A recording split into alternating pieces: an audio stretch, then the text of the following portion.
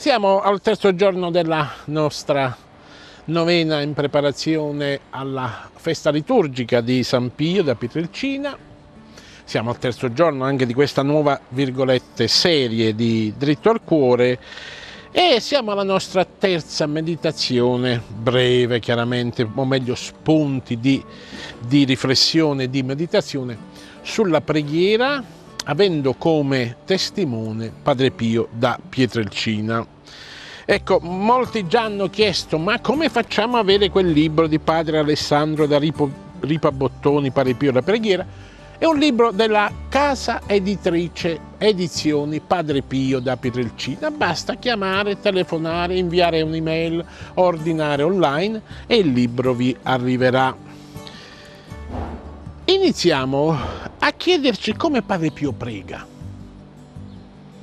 È il modo migliore per poter oggi noi apprendere, imparare, meglio penetrare nel mistero della preghiera di Padre Pio, che per lui è stato un dono, ma ancora di più un carisma, cioè un dono della grazia che il Signore gli ha donato non tanto per il suo bene, ma soprattutto per il bene delle anime, per il bene delle persone che lui ha incontrato nella sua vita, persone che ha guarito da malattie spirituali attraverso il grande sacramento della riconciliazione, attraverso il ministero della guida spirituale, attraverso il suo esempio di vita evangelica, di vita francescana, vissuta in maniera coerente.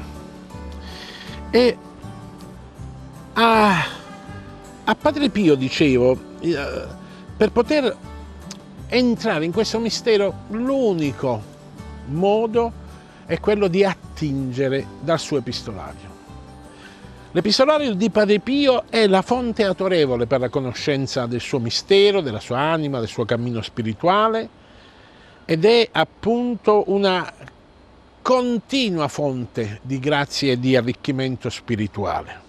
È il vero modo per conoscerlo. Molti chiedono ma quale libro possiamo prendere su Padre Pio, quale libro possiamo comprare per conoscerlo. Vedete, nel mondo ce ne sono tanti. Io raccomando sempre e solo l'epistolario. L'epistolario è la fonte essenziale, poi ci possono essere dei libri che mi aiutano a integrare quello che io leggo nell'epistolario di Padre Pio, perché nell'epistolario Padre Pio si apre. Il mistero di Padre Pio crea uno squarcio da cui noi possiamo appunto vedere e toccare le meraviglie che Dio ha vissuto, lui, ma ha operato meglio nella vita di Pio da Pietrelcina. E dicevo che, sempre attingendo al nostro libro Padre Pio e la preghiera di Padre Alessandro da Ripabottoni, dicevo che a Padre Pio si può applicare quello che Sant'Agostino dice della preghiera. E a un certo punto, proprio riflettendo sulla preghiera come vita, Agostino dice, se canterai solo con la voce, a un certo momento dovrai tacere. Canta invece con la vita, affinché mai debba tacere. Ecco, io penso che Padre Pio abbia pregato con la sua vita, con la sua vita fatta di intimità vera con il Signore, fatta di offerta continua al Signore delle proprie sofferenze. E quindi ecco perché oggi ancora la preghiera di Padre Pio continua ad essere incessante e la preghiera di Padre Pio e la vita di Padre Pio non tace, ma parla al mondo e parla a tanti di noi. Noi ci vediamo domani, Padre Pio TV, dritto al cuore. Ciao a tutti!